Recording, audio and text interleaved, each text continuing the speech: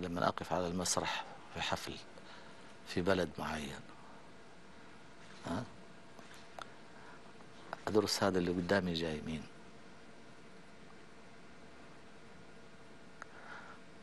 لا أقبل أبدا الإملاء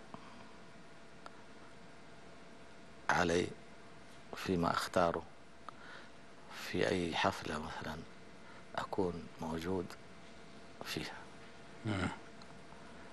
إن شغلت مخي؟ كثير يمكن شغلت مخي كثير أحيانا تجد آه، في فا- فارق يعني بس إنما إذا جاءت تلقائية أحيانا مم. من أمتع ما يمكن الاختيارات حقت المسرح يعني أحيانا زيادة التفكير من من صالحك.